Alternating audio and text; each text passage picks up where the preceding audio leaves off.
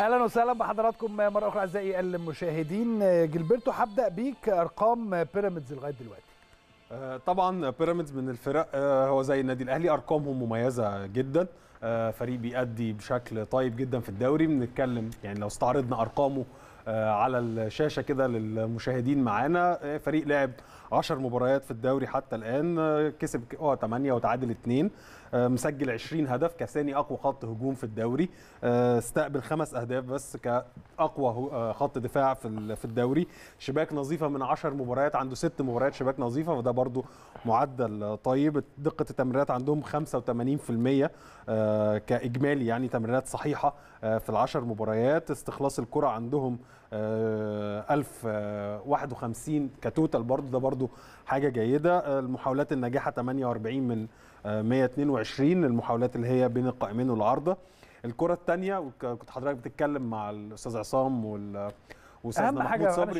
أهم حاجة. الكرة الثانية من هم من الناس المميزة جدا في فكرة الكرة الثانية فنتمنى إن إحنا في المباراة ما نديهمش الفرصة إن هم يسترجعوا الكرة بشكل سريع وعندهم إن هم برضو بيفقدوا الكرة تحت ضغط 212 مرة من 321 فنتمنى إن الأهلي كان بس مشكلته الفترة الأخيرة فكرة الضغط قوي لأن طبعا الإرهاق وضغط المباريات بيصعب الأمور دي. فنتمنى إن لو الاهلي عملها زي ماتش الهلال كده أكيد هيبقى ليه آه، الغلبة في المباراة إن شاء الله. في خريطة اللي هي أهداف الأهداف لو تفتكر المرة اللي فاتت آه، اتكلمنا عن أهداف النادي الأهلي إنه بيسجل في كل توقيتات المباراة وأفضل توقيت تهديف للنادي الأهلي أول ربع ساعة مسجل فيها تقريبا سبع أهداف بيراميدز. في أول ربع ساعة ما بيسجلش خالص يعني في العشر ماتشات ما سجلش أي هدف.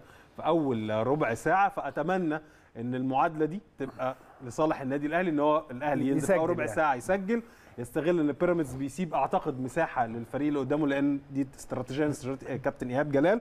أكتر توقيت هم بيجيبوا فيه أهداف اللي هي الربع الأخير من الشوط الأول وبقية ال... يعني فترات المباراة هي هتلاقيها متساوية يعني بيسجلوا في أغلب الفترات بشكل متساوي لكن الأفضل عندهم كرقميا من الدقيقة 30 للدقيقه آه، 45 فنتمنى إن شاء الله إن إحنا نستغل الحتة اللي إحنا قلنا عليها بتاعت أول ربع, ربع ساعه, ساعة. ساعة. الأهلي يسجل وما يستقبلش إن شاء الله أي أهداف حنفي نقاط الضعف والقوة في فريق بيراميدز طيب زي ما قلنا يا كابتن إن إحنا عندنا في بيراميدز استقبل خمس أهداف ولكن هو عنده برضه مشاكل دفاعية بتبان في أوقات كتير. لو جينا نشوف المشاكل اللي عنده هو عنده مشكلة واضحة في الكرات العرضية. بيراميدز استقبل خمس أهداف ال season دوت منهم ثلاث أهداف من كرات عرضية.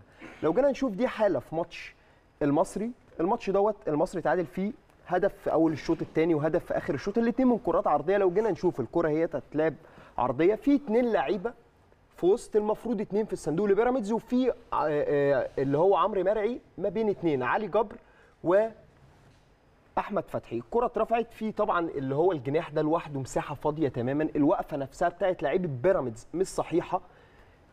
استلم الكرة الجناح نادي المصري اضطر المهدي سليمان طلع يعمل ضربة جزاء اتسجل منها. وقفة لعيبه بيراميدز نفسها في الكرات العرضية مش صحيحة. يعني لو جينا نبص هنا على عمرو مرعي عمرو مرعي واقف في مساحة لوحده. قدام ال- السكس يارده وراه ثلاث لعيبه فاضيين ما, ما, فيش أي حاجة ما فيش أي مهمة ليهم. وقدامه المساحة كان ممكن الجناح بتاع المصري يطلع الكرة عمرو مرعي يسجل منها ولكن هو خد ضربة جزاء سجلها هدف الأول. لو الكوره هنا طلعت لعمرو مرعي معاه مساحة فاضية وراه ثلاثة لعيبة. يعني لو جينا نبص وراه محمد حمدي وراه دونجا هوت وراه اتفضل اللاعب بتاع الجنوب أفريقيا. آه، آه، لاكاي بتاع لاكاي. جنوب أفريقيا لاكاي المهاجم بتاعهم. ودي برضو الهدف الثاني للمصري. لو جينا نبص نشوف كام لاعب في بيراميدز في ال في, ال في ال corner اللي بترفع دي في 10 لعيبة جوه المنطقة على ست على خمس لعيبة للمصري. 10 لعيبة لبيراميدز وفي خمس لعيبة للمصري. والأهم بقى إن في منهم أربعة واقفين محدش واقفين ما حدش ماسك. ما حدش معاهم خالص ما حدش أيوة. ماسكهم. أيوه اترفعت الكورة. أنا عايزكم تركزوا مع عمرو مرعي بقى. عمرو مرعي اللي هو هيسجل الهدف ده في النص أهوت. عمرو مرعي في وسط كام لاعب بقى؟ في وسط واحد اتنين تلاتة أربعة خمسة ستة سبعة لعيبة وعمرو مرعي في وسطهم. أيوه. مفيش ولا واحد فيهم ماسك عمرو عمرو مرعي man to man صح. كلهم واقفين حوالين عمرو مرعي اترفعت الكورة. نكمل ال corner. عمرو مرعي هو استلم الكورة وسجل منها هدف التعادل في وسط ست لعيبة قدر إن هو يسجل. فهم عندهم مشكلة في التعامل مع الكرات العرضية. الكرات العرضية في بيراميدز أزمة. استقبلوا ثلاث أهداف. برضه في ماتش فاركو كان ممكن يكون أربعة في ماتش فاركو سجل فاركو هدف من كرة عرضية برضه ولكن اتحسب تسلل. لو نيجي نشوف نقطة ال- اللي هي الضعف الثانية في في قلب دفاع بيراميدز هنلاقي إن ال back اليمين عندهم مشكلة. ال back اليمين عندهم في حتى على مستوى الأسماء عدم استقرار. مرة بنشوف أحمد فتحي مرة بنشوف عمر جابر مرة بنشوف أحمد توفيق. مفيش استقرار حتى على مستوى الأسماء بالنسبة لبيراميدز في ال back اليمين فهم عندهم مشكلة في ال back اليمين. لو جينا نبص للكورة ديت حسن علي اللي هو ال- ال- الجناح بتاع المصري اتلعبت له كرة طولية في مساحة كبيرة. أحمد فتحي راجع عمل التغطية متأخر ده أحمد فتحي اهوت أيوة. أحمد فتحي فعلا بيعاني بدنيا. أحمد فتحي ال season دوت وضع عليه جدا جدا التعب بدنيا. بدنيا هو تحس إن هو أي حد بيلعب عليه سريع بيرهق أحمد فتحي. في الواحد على واحد وفي وفي السرعات. دخل حسن هو حسن علي دخل بالكورة جوه الصندوق. اضطر دخل عليه أحمد فتحي كسبه في الواحد على واحد. أحمد فتحي عنده مشكلة واضحة قوي ال season ده في الواحد على واحد. القرار الكتير وبسببها بياخد انذارات كتير. ودي كورة برضو. ده أحمد فتحي أهوت. نفس الفكرة كورة طوليه في المساحة بتاع أحمد فتحي. اتلعبت الكورة معاه مساحة. طبعا أحمد فتحي أصلا واقف بره ال line واقف غلط يعني مش واقف في ال line اتل- اتلعبت الكورة لل- لل- لل- للجناح الشمال. أحمد فتحي طبعا عمل التغطية متأخر هيضطر في الكورة دي إن هو يعمل فاول وياخد إنذار من مكان خطير جدا. استلم الكورة وراح عليه واحد على واحد هيعدي من أحمد فتحي. وهياخد فاول من منطقة خطيرة جدا. فاذا المساحة بتاع ال back اليمين في بيراميدز مشكلة. حتى على مستوى الأسماء بنشوف شوية أحمد فتحي يعني ال ال ال ال 10 الأخيرة أعتقد كان عمر جابر عمر جابر. وشفنا أحمد فتحي قبله كنا بنشوف أحمد توفيق أوقات. فهم عندهم مشكلة في الحته اليمين وعندهم مشكلة في الكرات العرضية واضحة قوي. بيراميدز من من خمس أهداف استقبل ثلاثة وفي هدف في ماتش فاركو اتحسب تسلل من كرة عرضية برضو. ده بالنسبة لنقاط الضعف في بيراميدز. لو جينا نشوف ممكن أضيف على أحمد إن كده النادي الأهلي من المفترض إن الحتة القوة عنده اللي ظهرت في الماتشات الأخيرة اللي جابها لما يبقى في أحمد عبد القادر وعلي وعلي معلول. وكمان في ماتش الهلال آه، السعودي كان ظاهر جدا إزاي تعامل الأهلي مع الكرات الثابتة في العرضيات. فاعتقد الحتة دي لو النادي الأهلي استغلها بشكل جيد يقدروا يقدر إن هو خطورة منها. نشكل خطورة منها إن شاء الله. طب قبل ما نروح لنقاط القوة ولا خلاص؟ تمام نروح لنقاط القوة. هتروح لنقاط القوة. قبل ما نروح لنقاط القوة من على الانستجرام آه، في رأيك من يقود هجوم آه، النادي الأهلي أمام بيراميدز؟ آه، ميدا بيقول شريف وعبد القادر وقفشة وبيرسي تاو وفيني بيقول شريف. مار آه، وبيقول حسام حسن أنا مقتنع بيه جدا. أرمي بيقول حسام حسن. آه، إيمان آه، مكاوي بتقول عبد القادر وتاو معاهم شريف راس حربة. آه، إسلام بيقول حسام طبعا. آه، دينا بتقول محمد آه، شريف وتحته عبد القادر وقفشة وتاو. آه، بسمة آه، بتقول عبد القادر وحسام حسن وبيرسي تاو. آه، بيرسي تاو واحمد عبد القادر وقفشة ومحمد شريف. ياسمين آه، مديم بتقول ممكن يدي لحسام حسن فرصة. دي بعض ال- ال- اللي حضرات اللي حضراتكم أو بعض الأمور اللي حضراتكم عايزينها تحصل بكرة في بالنسبة للهجوم في النادي الأهلي. اتفضل. أيمن أو أحمد، آه. هنشوف نقاط القوة بقى يا كابتن. عندهم نقاط القوة. خلينا نشوف الأطراف في بيراميدز. الأطراف في بيراميدز نقطة قوة. عندهم إبراهيم إبراهيم عادل وعندهم رمضان صبحي عندهم إسلام عيسى وعندهم آه، إبراهيم حسن. إيهاب جلال بيعتمد في فكرة الأطراف إن دايما إبراهيم الأطراف- حسن مشي راح الاتحاد. آه، آه، إسلام عيسى و- ورمضان صبحي و إبراهيم عادل، مظبوط عادل آه، كابتن إيهاب جلال بيعتمد في فكرة الأطراف على فكرة مهمة جدا. لو نقف في الصورة ديت هنشوف إن دايما أطراف بيراميدز في الشكل الهجومي بتخش inside بتخش جوه مع محمود وادي أو مع لاكاي وتفتح مساحة لعمر جابر ومحمد حمدي فتلاقي فيه في العمق أكتر من options إن هم ممكن يكون عندهم مساحات. تلاقي في الجوه عندك دايما في الجزئية اللي جوه دي تلاقي رمضان صبحي وتلاقي هنا مثلا في ماتش إسترن كومباني كان بيلعب إسلام عيسى وفي الوسط أهوت آه، وادي. فتلاقي دايما في العمق في ثلاثة مع إن ال backين عاملين الملعب stretch فتلاقي فيه حلول. في ماتش برضو المقاولين نفس الفكرة إبراهيم عادل وجوه رمضان صبحي مع لاكاي وعمر جابر ومحمد حمدي عاملين stretch للملعب علشان يلاقوا مساحات علشان يوسعوا الملعب على نفسهم علشان يكون جوه في العمق في أكتر من options لل pass الشكل ده بيتغير كتير جدا هتلاقيه في كل ماتشات بيراميدز بنفس الشكل بيخش الأطراف انسايد. والباكات بتفتح الملعب علشان نلاقي مساحات دي نقطة مهمة جدا بالنسبة لبيراميدز على الأطراف الأجنحة. عندهم تقريبا كلهم عندهم المهارة والسرعة يعني لو رمضان صبحي إبراهيم آه، آه، عادل كلهم آه، مسجلين. كلهم يعني إبراهيم مسجلين. عادل مسجل أربع أهداف رمضان صبحي مسجل صح. هدف برضو عبد الله السعيد عبد الله السعيد مسجل مسجل أربعة أربعة. كلهم في الشق الهجومي مسجلين في بيراميدز أقلهم تسجيلا هو رمضان صبحي مسجل هدف واحد ال season دوت فهو الأطراف عندهم نقطة قوة مهمة جدا بيعرفوا يعملوا ده بسلاسة ومرونة إن هم دايما الأطراف تخش inside ال backات تفتح الملعب فتلاقي فيه مساحات ويلاقي فيه أكتر من options لل pass. لو جينا نبص لتاني نقطة قوة في بيراميدز وليد الكارتي. أحد أهم اللاعبين خط الوسط ال season دوت في, الدوري المصري. وليد الكارتي box box عصري جدا. ميزته إن دايما وليد مجرد ما عبد الله السعيد بيستلم الكورة أو اللاعب اللي بينزل يسقط ياخد الكورة وليد الكارتي ما بيفكرش غير إن هو يخش جوه الصندوق. دايما فكرة القادمون من الخلف مع وليد الكارتي مهمه قوي وبيستفيد منها بيراميدز. وليد الكارتي مسجل أربع أهداف كلهم قادم من الخلف. كلهم الكورة بيستلمها عبد الله أو الجناح يعني لو شفنا الكورة ديت في ماتش المصري وليد الكارتي جاي من نص الملعب وهو مش مفكر في أي حاجة غير إنه يخش جوه الصندوق ويستغل طوله إن هو يسجل براسه أو إن هو بيستغل رجله بشكل جيد في الصندوق. هنا سجل الكورة دي هدف بالمصري برجله أعتقد. آه،. كمل على الكورة. الفكرة إن هو جاي من نص الملعب جاي من نص الملعب. اتوجد في الصندوق. دي مش منطقة مش دي مش المساحة بتاع وليد الكارتي. ورغم كده هو قادم من الخلف ونقطة مهمة قوي بيعتمد عليها. يعني آه بيعتمد عليها ايهاب جلال. بص ديت دوت وليد الكارتي. وليد الكارتي لعب الكورة أهوت اتلعبت في نص الملعب. هو مش بيفكر في أي حاجة حرفيا غير إنه يخش جوه الصندوق ويخلق options زيادة مع اللعيبة.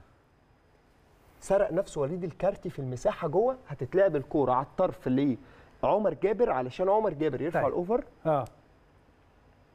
لإسلام عيسى الناحية الثانية ويكمل عليها وليد الكارتي. وليد الكارتي نقطة مهمه في جدا. اللي- فكرة في ان هو قادم آه. آه. فكرة إن هو في الدفاع بتلاقي اول واحد في ال... بيدافع في الهجوم بتلاقي اول واحد بيهاجم بالظبط. هو هو نقطة. مهمة قوي قوي الكابتن إيهاب جلال. ودايما عامل لهم زيادة جوه الصندوق ودايما نقطة خطرة في الكرة الثانية اللي أنتوا كنتوا بتتكلموا عليها في الأرقام.